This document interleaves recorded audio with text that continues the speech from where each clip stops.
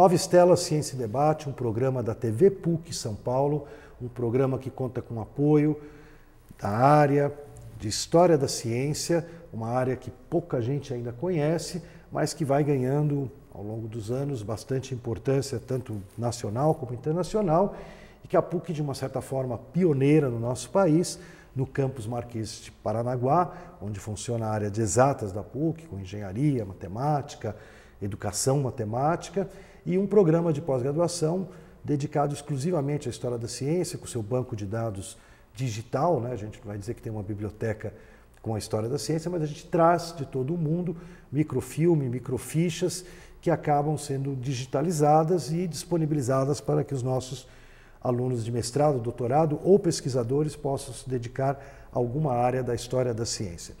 E, como toda semana, a gente tem sempre alguém convidado, muitas vezes alguém da própria casa, da PUC, e hoje nós temos Juliano Spaia, que é consultor na área digital, né, no Brasil, no exterior, né, e que se formou na Inglaterra, fez o seu mestrado em antropologia digital na UCL, Universidade College of London, onde a gente tem uma equipe da PUC agora, nesse instante, né, lá hospedada, né, é uma parceira da, da PUC na área de História da Ciência.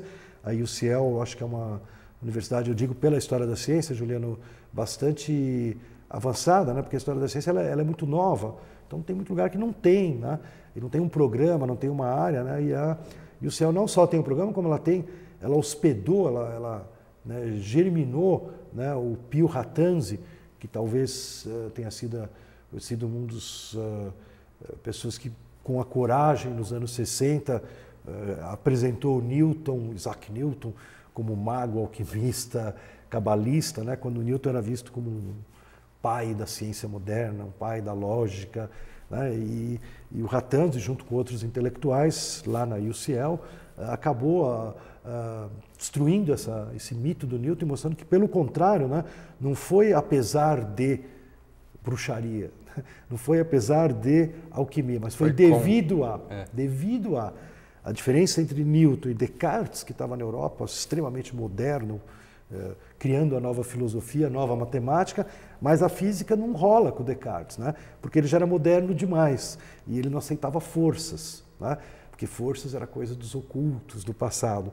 E o Newton, que vivia ali numa antropofagia total, misturando todas as formas de saberes e de práticas, as acadêmicas e círculos de cabalistas, cristãos inclusive, porque eram judeus que tinham vindo fazer comércio na Inglaterra, que se misturaram com o mundo cristão, daí esses cristãos queriam em Oxford, Cambridge, círculos, mas que não estão dentro da academia, não está no currículo ele aprender cabala, gematria, que é os números das letras, que vai levar no cálculo, né, no, no Newton. Então, o Newton, é devido a essa base, que o Ratanzi, lá na UCL, uh, introduziu, né, e a UCL tem vários outros aspectos que ajudaram, né, ela tem uma biblioteca doada por um judeu alemão durante a guerra para fugir, é, que acaba sendo o melhor espaço concentrado de hermética, de história da hermética, da Babilônia tal, eh, do planeta. Né? Esse é um milionário lá da, da, Alemanha que, sentindo o nazismo, ele transfere quatro andares de biblioteca da casa dele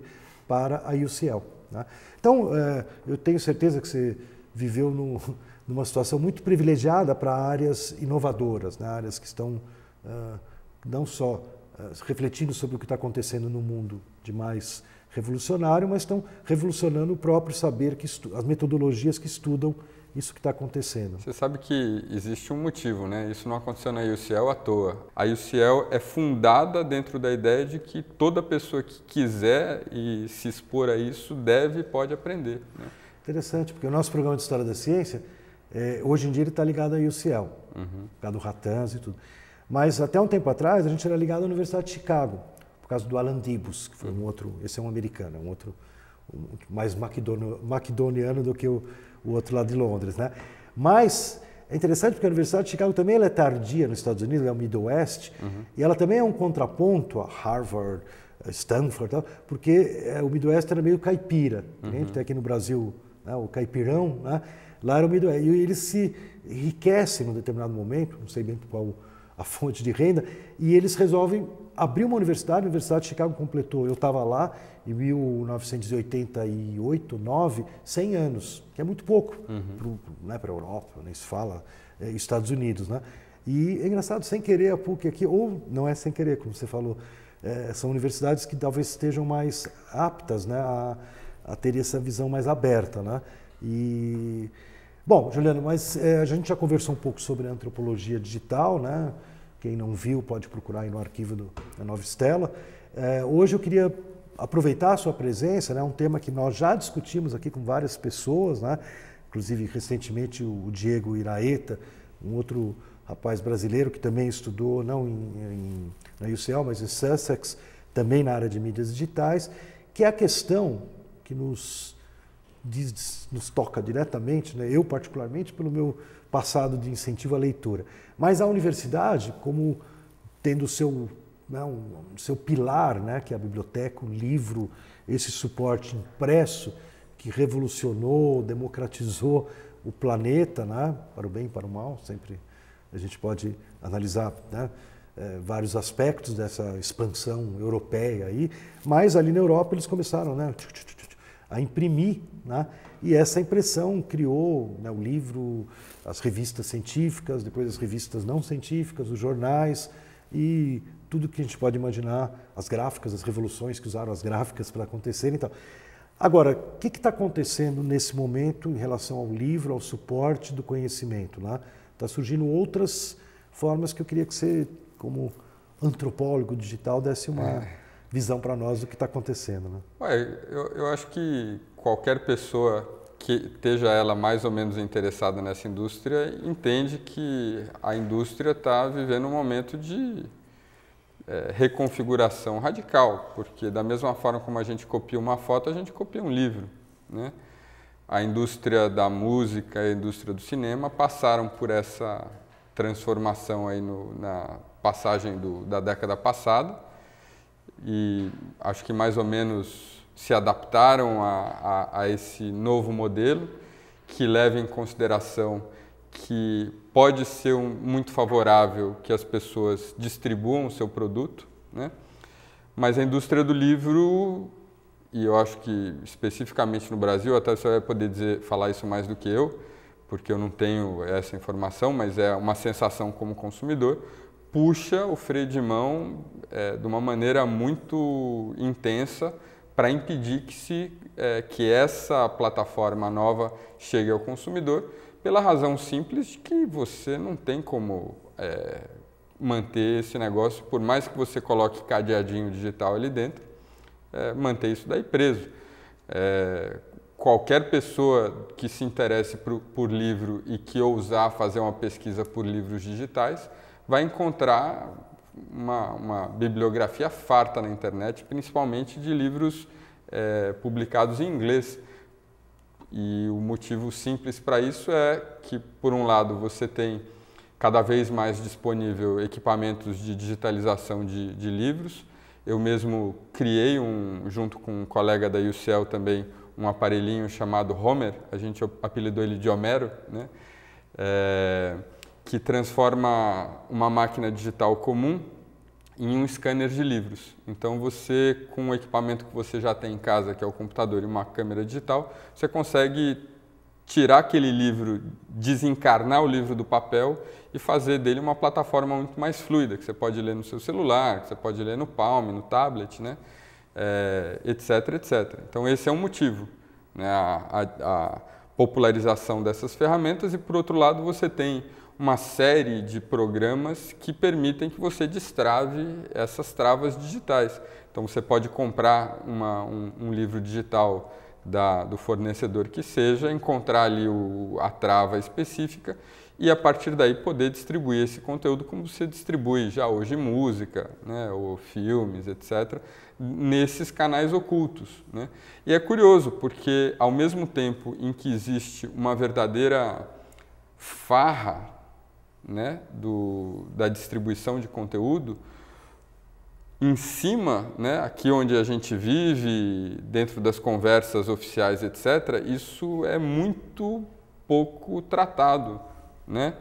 É, então você vê que o, na, na, nossa época a grande questão era sobre a legalidade das cópias é, xerocopiadas, né?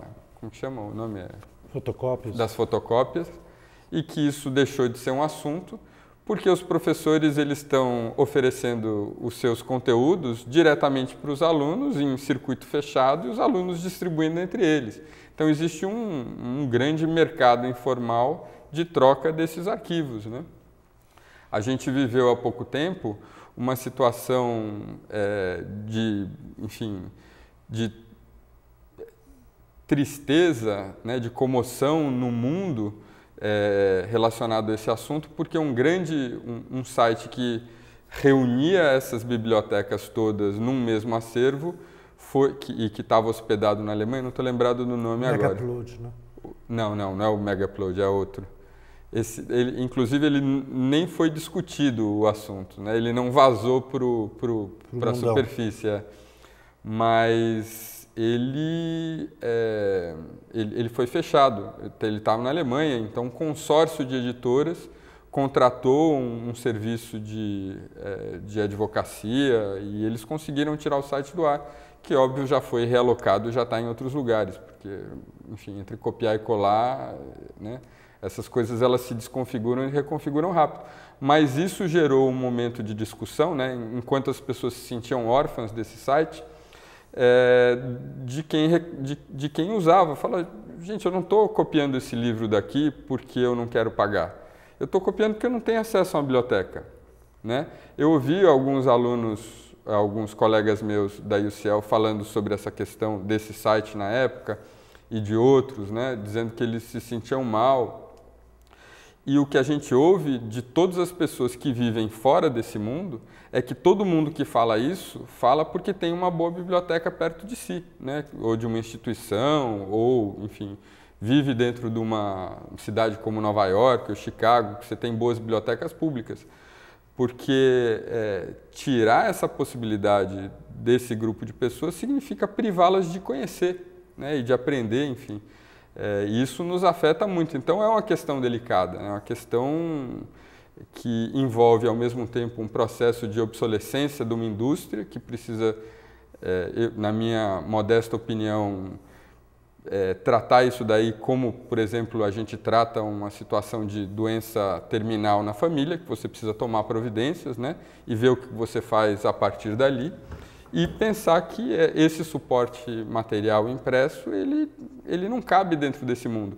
E não é porque o mundo é injusto, enfim, é que houve uma mudança em termos de plataforma que afetou a maneira como o conhecimento é distribuído e, enfim, sem fazer uma, uma, um julgamento de valor, um julgamento moral em relação a isso, você simplesmente não tem como tapar esse sol. Né? Isso acontece e o que a gente está vendo agora em muitos, em muitos casos é o, assim, um, um, movimento ainda meio underground de produção de livros digitais dentro de comunidades. Né?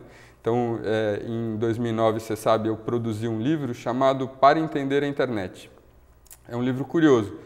É, eu publiquei em 2007 um livro impresso, qual eu tenho profundo orgulho, que chama Conectado, saiu pela Zahar, que é a minha editora favorita. E é um livro que, enfim, que eu apresentava o que eu fazia ali para o mundo, para ver se eu ajudava, encontrava os meus pares, para a gente construir mais coisas juntos. E esse livro, Zé, durou três anos para ser escrito, né? Então, durante três anos, enquanto eu trabalhava no Leia Livro, eu voltava para casa e passava quatro a cinco horas por dia escrevendo, né? Enfim, é um esforço que foi exaustivo mesmo, né? E que foi recompensado com a, é, com a publicação pela Zahar, mas que seis meses depois... Teve noite de autógrafos. Teve uma noite de autógrafos, foi super bonito. Mas que seis meses depois chegou o cheque com os direitos autorais e se eu dividisse esse cheque pelo número de meses que eu trabalhava, eu teria ganhado 80 reais por mês. Né? Ou seja, a gente fala que o Brasil é um país que não tem leitores, né? É, é um país que também não incentiva a escrita e as coisas estão muito juntas, né? Ou seja, não existe um incentivo comercial claro para que a pessoa escreva. O sujeito escreve por prestígio, né? O prestígio que abre portas, cria oportunidades de trabalho, te faz ser respeitado, ser convidado para entrevistas, etc, etc. Né? Porque é um selo da sociedade de que esse sujeito, enfim, teve algum valor, fez uma contribuição. mas o dinheiro não entra. Daí o que, que aconteceu? Em 2009, eu estava participando de, uma, de um evento da internet importante chamado Campus Party, e a Campus Party reúne né, todo mundo da internet no Brasil. São 5, 7 mil pessoas que viajam de todas as partes do país para estarem juntas, inclusive dormindo no mesmo lugar durante uma semana. E é uma, para mim e para muitas pessoas que eu conheço e com as quais eu me relaciono, é o momento de você revitalizar os vínculos, né? de você dar risada, de você trocar ideia e de ter esse momento de buchicho em que as ideias né, se mega, transformam. Mega presencial do digital. Exatamente. E daí o que, que aconteceu? É, eu fui, tive a ideia de fazer um livro usando uma estratégia completamente diferente da que eu tive. Em vez de eu escrever, eu resolvi ser curador de um livro. Como eu conhecia as pessoas, eu fui falando, ó, oh, fulano, você que entende muito desse assunto, você me escreveria uma página introdutória sobre isso que você entende e que vai te custar duas horas de trabalho, se custar mais você está escrevendo demais, está errado, né? E eu fiz isso com 35 pessoas, todos profissionais, ativistas, pesquisadores, conhecidos e reconhecidos, né? É, aqui no Brasil, pessoas importantes e de, e de vanguarda nas suas áreas, e eu tinha um livro pronto, absolutamente pronto, em 45 dias. Ou seja, o outro livro eu demorei três anos para fazer. Não ganhei um dinheiro que remunerasse esses três anos, então ficou elas por elas em relação a esse livro novo. Só que em vez de gastar três anos, eu gastei 45 dias, com um pequeno detalhe, quer dizer, do momento em que esse livro, esse livro foi lançado no Twitter, eu anunciei o livro no sábado pelo meu blog pessoal. É, o... eu, eu tuitei. É, isso. Todo mundo tweetou. Muita, muitos amigos tweetaram. O lançamento foi na terça-feira, né? Os autores todos os colaboradores desse, é, desse livro participaram do lançamento, retweetando e respondendo perguntas, foi uma farra, né? E cinco dias depois a gente tinha tido mais downloads desse livro do que havia naquele momento cópias impressas do meu livro. Quer dizer, eu gastei três anos e tirei 3 mil exemplares que foram vendidos ao longo de, sei lá, três anos, né?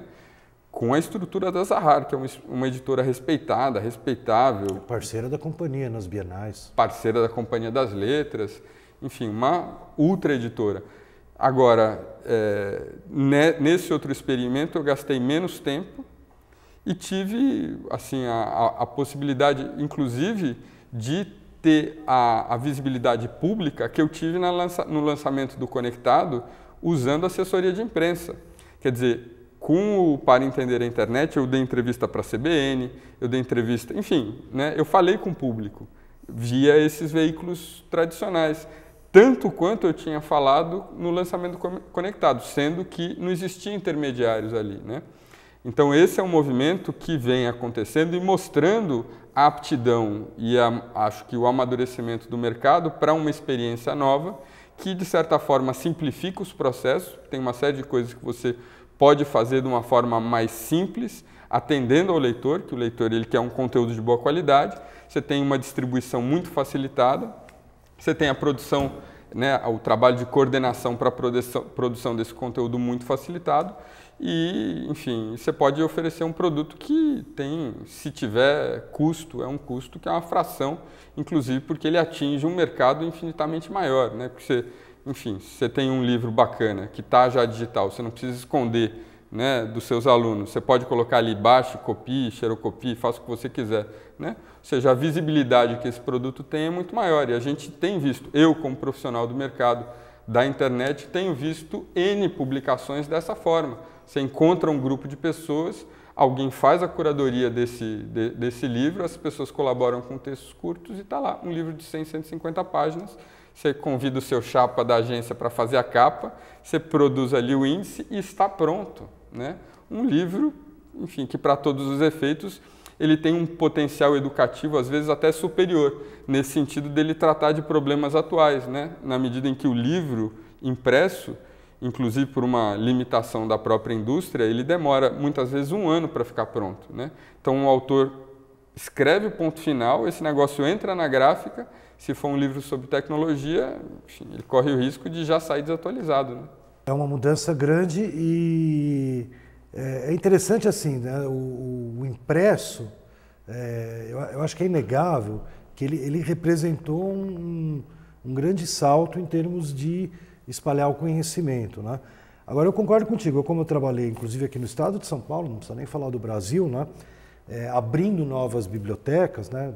quando isso? A partir, foi a gestão da Cláudia Costinha aqui em São Paulo, a partir de 2003, aí pertinho da gente, né? ou seja, a gente tinha muita cidade, como você falou, que não tinha uma biblioteca, a gente percebe que o impresso cumpria um papel, né? cumpre um papel, cumpre um papel muito importante, mas ele, ele tem uma limitação que é muito difícil o pequeno município, médio município, às vezes até o médio, é, conseguir é, manter e atualizar o seu acervo. Né? É, a gente está tendo casos agora com a crise europeia, a crise norte-americana, né? também que não é a crise brasileira dessa vez, que algumas cidades nos Estados Unidos estão com um problema seríssimo de como manter o ritmo que a biblioteca da cidade sempre teve, biblioteca centenária, né? e que não consegue. A gente colocou outro dia no Twitter, foi também viral aí, viral do, dos bons, né? É, como é que uma cidade foi salva, a biblioteca ia fechar. Né? Eles, a, a, Câmara dos Vereadores lançou uma proposta que era aumentar 0,7 a tax por ano, as taxas por ano, imposto, uhum. né? para poder manter a biblioteca. Não tinha mais de onde tirar dinheiro. Né? E daí, claro, a primeira reação da população qual foi? Tax não. Uhum. Né? Não, no. Começou uma campanha do no. E alguém lançou uma campanha pelo Facebook, Twitter, pelas redes, é, vamos queimar os livros, chega. Né? E essa campanha acabou virando todo mundo contra queimar os livros e a favor da taxa, e já foi aprovada, já estão recolhendo e já salvaram a biblioteca, ela está lá bonitinha como sempre foi. Né?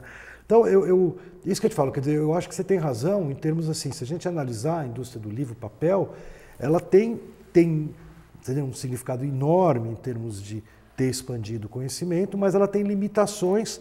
Eu trabalhei no Tocantins, num outro projeto, tem muito lugar no Tocantins que nunca chegou livro, mal chegou revista.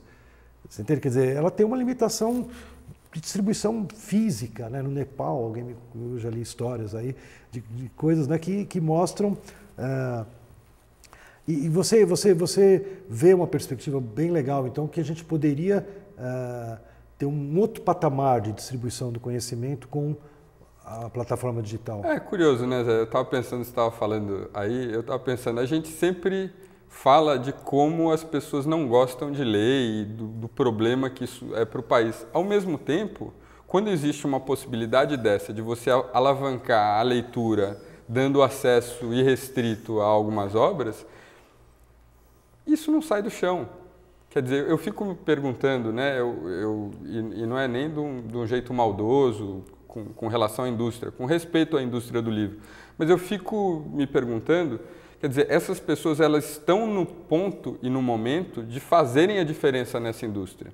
Elas já viram a indústria do cinema passar por isso, elas já viram a indústria da música passar por isso, elas estão vendo o que está acontecendo com jornais em função, enfim, da né, abertura da internet, e elas têm a possibilidade de parar, eu acho que com essa besteira de puxar o freio de mão a qualquer custo e de ignorar que isso exista, e de pensar em modelos de negócio mesmo, porque a sociedade, é, é, sabe, o dinheiro está aí, todo mundo precisa, né?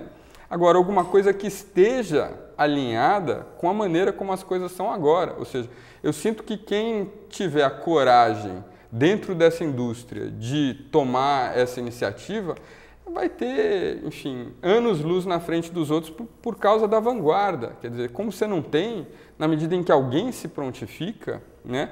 Eu acho que isso daí vai provocar uma mídia espontânea, uma atenção espontânea da sociedade que não tem precedente, pô. Sabe? Porque é o que todo mundo quer. A gente fica falando o tempo todo de que ninguém lê, daí você tem uma biblioteca dessa, como tinha na Alemanha, que supria o mundo, sabe, de obras que nunca chegariam, né? É, ou que estariam absolutamente inacessíveis em função do, do alto preço desse, desse dinheiro, o sujeito, o cara não compraria. Percebe? Ou ele não compraria porque ele não tem, ou ele não compraria porque não chegaria ali. Então isso não tem nenhum impacto, de fato, isso, né, na indústria. E, no entanto, o que a gente faz é tirar isso do ar. Né? É, é, ele, ele, chega a ser contraditório, né? colocar uma situação de contradição. Porque, poxa, o objetivo não é deixar com que as pessoas leiam, então aí você tem uma série de pessoas pedindo para ler. Né? E a gente não está, enquanto sociedade, eu digo especialmente no Brasil, eu acho, atendendo a, essa, a esse clamor né? por ter livros. Tanto que a gente tem muito menos livro disponível digitalizado em português dentro desse mercado é, negro, né, dessas trocas. É, isso acontece principalmente dentro das universidades e, enfim, quem, quem escolhe ignorar, ignora. Todo professor universitário sabe disso, tem isso, tem isso com clareza, né? E, enfim, as coisas vão sendo levadas desse jeito, ou seja, existe uma demanda a ser suprida. Eu acho que as editoras estão numa posição privilegiada em relação a todo mundo, não só por terem os contatos, conhecerem os profissionais, entenderem da indústria, saberem o que é qualidade, não só por isso, mas principalmente porque essas pessoas entendem como que se produz um livro. Percebe? Ou seja, a gente está na situação de fazer a diferença dentro do mercado, tendo visto, tendo visto o que aconteceu nas outras indústrias e ainda assim, de alguma forma, resiste. Mas é, eu estou no Rio de Janeiro lá com a Cláudia Costinho, continuo com a Cláudia, né, nossa amiga, e a gente está enxergando algumas possibilidades, porque a gente está criando a Educoteca, que é uma biblioteca turbinada na internet lá para a rede de educação do Rio.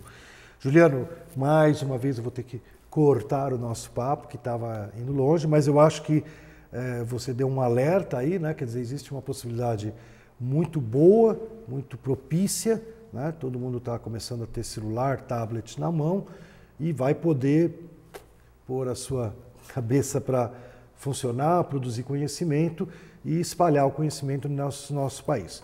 Nova Estela se despede mais uma vez, esperando, como aconteceu lá no passado, que de novo, aqui no 21, né, novas estelas, novas estrelas apareçam e, como o Juliano falou, a gente possa realmente tornar o conhecimento acessível para todos.